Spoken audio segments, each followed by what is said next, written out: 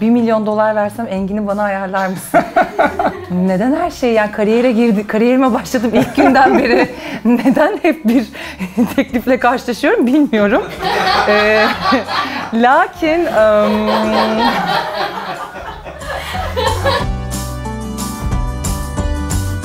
Merhabalar. Aha başladık mı? Pardon.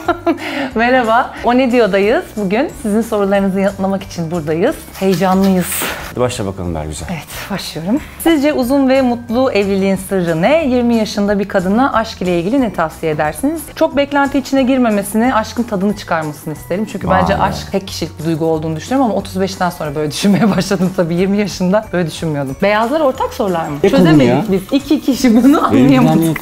Engin Bey en son Google'da neyi aratmış? Filmle ilgili yorumlara bakmışımdır. Ya. Ya.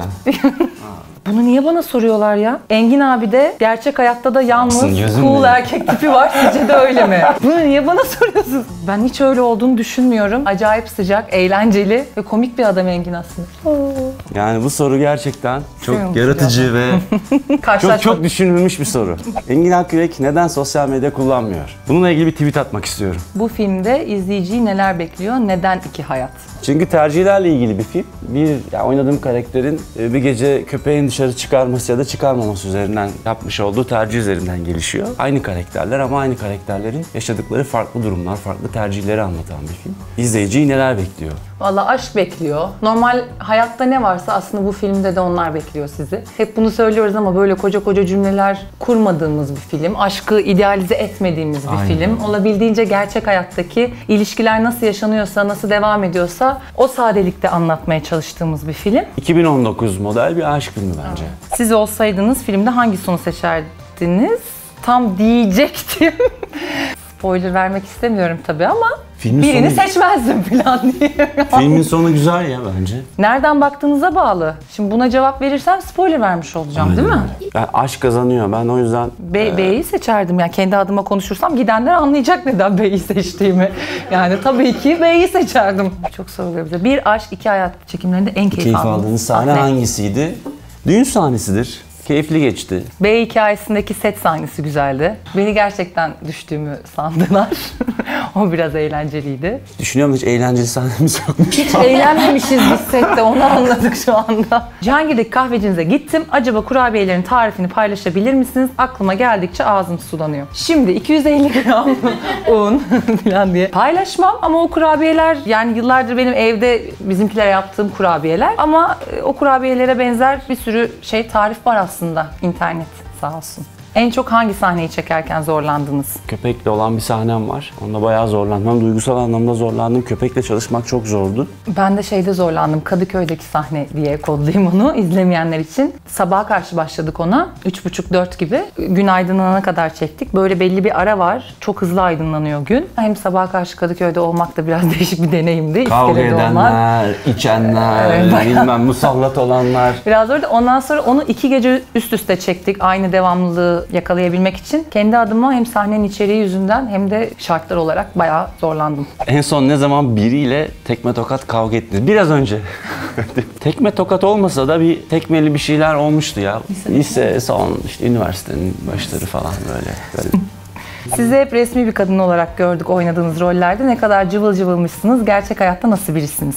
Ay teşekkür ederim. Çok eğlenceliydi bu arada böyle bir kadın oynamak. Ya şimdi insan böyle kendini nasıl anlatsın ki? Çok şekerim, çok eğlenceliyim, aşırı tatlıyım diyemem ama oynadığım o resmi kadınlardan olmadığım bir gerçek. Bu işe ilk başladıklarında, yani Mesela oyuncular şey, yani, oyuncular. başladıklarında bir işi sırf fiziksel özellikleri yüzünden kaybettikleri olmuş mu? Benim çok oldu. O kadar çok audition'a girip red cevabı aldım ki. Ya çok uzun boylu olduğum için, eskiden çok kiloluydum ya çok kilolu olduğum için. Bu bahsettiğiniz aslında resmi ve ağır kadınları biraz da sanırım fiziksel özelliklerimden ötürü oynadım yıllarca. Yani benim fiziksel mi yoksa beceremediğim için mi oldu onu bilmiyorum.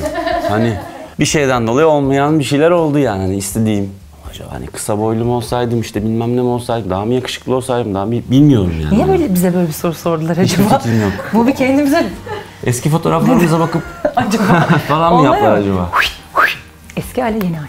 Engin Akgücek yeni sezonda TV'de olacak mı? İnşallah. Kült Yeşilçam filmlerinden hangisinde ben oynasaydım derlerdi ikimize de. Selvi boylu mal yazmadım falan. Kesinlikle Ertem Eğilmez filmlerinde oynamayı çok isterdim. Ben biraz daha sanatsal olayım mı şimdi? Ol lütfen ol. Sevmek zamanında Münir şey, e, Müşfik Kenter'in oynadığı Ya. rolü oynamak isterdim ya. Aa, Kaderci misiniz? ben net kaderciyim. İşime geldiği zaman kaderci oluyorum, işime gelmediği zaman Gerçekten Kadıköy'de takılmayı seviyor musunuz? Bir gün Kadife Sokak'ta karşılaşma ihtimalimiz nedir? Aa, Ben Kadıköy'ü çok seviyorum. Bence olabilir ya. Karşılaşırız herhalde. Ama Engin'le karşılaşma daha ben yüksek. de çok yüksek. Ya caddede bir tur atsanız çıkarım karşınıza. Filmdeki bileklik bağlama gibi totemleriniz var mıdır? Benim yoktur. Ben de tüt tüt tüt tüt falan yapıyorum. Ne yapıyorsun? Korktum. Kötü bir şey olduğunda tüt tüt Şu var mı? yapıyorum. O hep var. Hani uzaklaştırıyorum. Hem tükürüyorum hem uzaklaştırıyorum. Bergüzar Hanım'ın o Ya sessiz oku. Önce bir bak. Bence bunu sen oku. Buna ama Bence bunu sen, sen cevabı oku. sen Ben cevabı ben vereceksin. vereceğim. Bergüzar Hanım'ın o şirin yüzünün altında hadi çıkıp kokoreçe midyeye düşelim bro diyecek. Harbi kanka var gibi, harbi kanka tipi diyecek var gibi. Doğru mu bu? Ya bro demese de var. Fazlasıyla var. Son filminizden bu yana epey zaman geçti. Dizi setiyle sinema seti arasındaki fark ne? Dizi setinde e, bir zaman sonra tabii ki refleksleriniz, algılarınız ne olursa olsun e, bir otomatiğe giriyor. Karakterle çok daha uzun zaman geçiriyorsunuz. Bir hata yaptığınızı düşünüyorsanız ya da yetersiz olduğunuzu düşünüyorsanız öbür hafta bunu telafi etme hakkınız var. Ama sinemada ne yaparsan Geçmiş olsun. geçmiş olsun. Engin olarak bir kadında sizi en çok etkileyen özellikler neler? Zeka. Zeka falan demeyin klasik klasik yazmış. Umut ve Deniz'le gerçek hayatta karşılaşsanız sizin onlara sorunuz ne olurdu? Kızım sen deli misin? Niye çekiyorsun bu adamı? Ben de derdim hacı çok kasma derdim ya. Hangisine derdin? Umut'a. Deniz'e hacı denmez tabii. Şu an oldukları kişilerden memnunlar mı? Yani kendilerinden memnunlar mı? Bir soru bu. Ve Engin Bey tahminen ne zaman fotoğraf çekilirken, sinir oluyormuş çekilirken, çektirirken bir elini cebine koymayı bırakır. O, o kadar güzel başladı ki ikinci soru. Hani Ama çok dikkatli izliyorlar işte. yani elim uzun, kolum uzun. Yani fotoğraf çektirirken... Ya siz bizi Güzel. çok rahat Ya, sanıyorsunuz da o sırada güzel biz bir de şey aslında yani. Bu el bir strese değildir. Hani- giriyoruz yani. Hazırlanan herhangi bir eserin gösterim aşaması çok gergin bir zaman bence. Özellikle de her şeyin bu kadar hızlı, doyumsuz ve hissiz tüketildiği şu zamanda. Peki siz film gösterime girdiğinden beridir nasıl hissediyorsunuz? Ben iki tane sivilce çıkardım.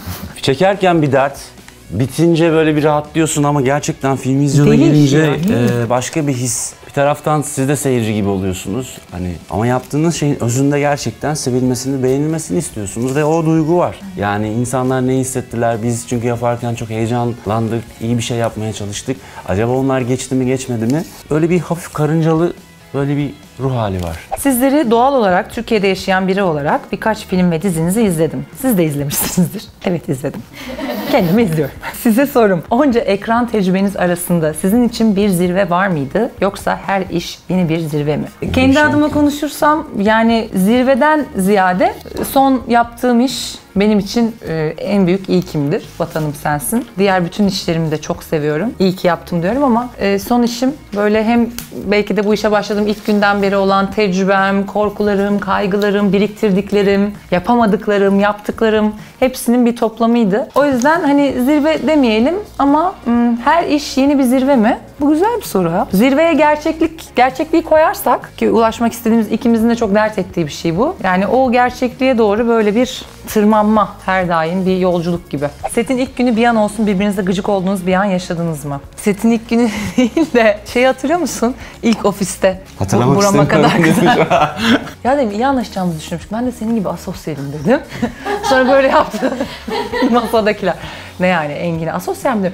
Yok o anlamda demedim yani kötü bir şey demek istemedim yani. O, o da kendi çevresinde ben de ki sonra buralarıma kadar kızardım. Ben hiç gıcık olmadım Engin'e ya. Valla sen oldun mu? Doğru söyle. Allah aşkına doğru söyle.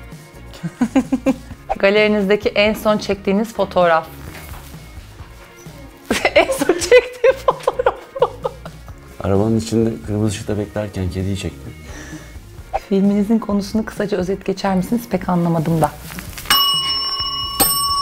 Ve Engin'i çok sinirlendirdiniz. Soruyu okuyup mu zile basıyoruz, okumadan mı zile basıyoruz? Pişman olduğunuz herhangi bir... Çok teşekkür ederim. Yani çok anlamı oldu benim okumadan zile basmam. Özür yaptım ya anlaşılmamıştır. Tamam oku ya bir şey olmaz. Hayatta pişman olduğunuz herhangi bir karar var mı? Filmin şarkısı Son Mektup çok güzel ama biraz da hüzünlü. Sizin hayatınızda o anı anlatan şarkı nedir? Mazi kalbimde yaradır çok severdim. Çok da ağladım zamanında o şarkı için. Ama benim için o anı anlatan en net şarkı Sensiz Saadet. Yok mu ya? Vallahi aklıma gelmedi ya. Ama ya çok sevdiğimiz parçalar var ama o an şimdi ben o parçayı hayatımın o anın şeyi haline getirmek istemiyorum yani.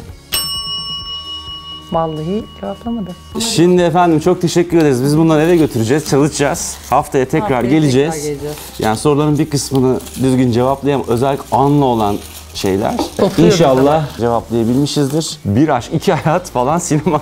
Çok teşekkürler. Vallahi eğlenceliydi. Vallahi ben hep izliyordum eee, bu videoları, bu soru cevap videolarını. Ben çıksaydım acaba nasıl cevap verirdim?